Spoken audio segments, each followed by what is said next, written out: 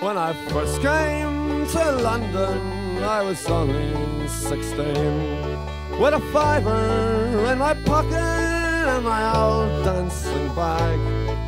I went down to the dilly to check out the scene. But I soon ended up upon the old main drag.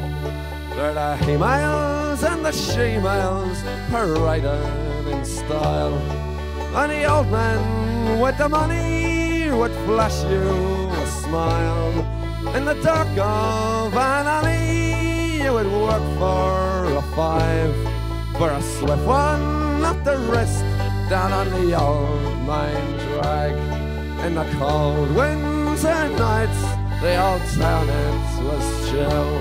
But there were boys in the cafes who'd give you cheap pills. If you didn't have the money, you cajole and you'd beg.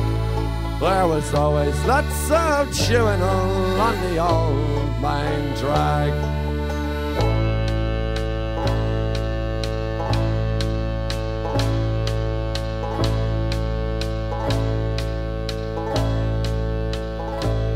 One evening as I was lying down in Leicester Square I was picked up by the coppers and kicked in the balls Between the metal doors at Vine Street I was beaten and mauled.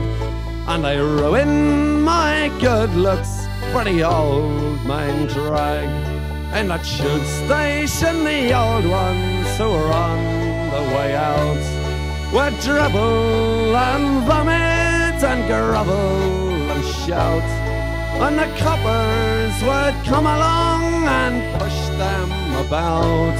And I wished I could escape from the old main drag. And now I am lying here, I have had too much booze.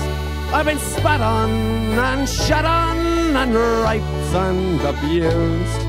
I know that I am dying and I wish I could beg for some money to take me from the old main drag.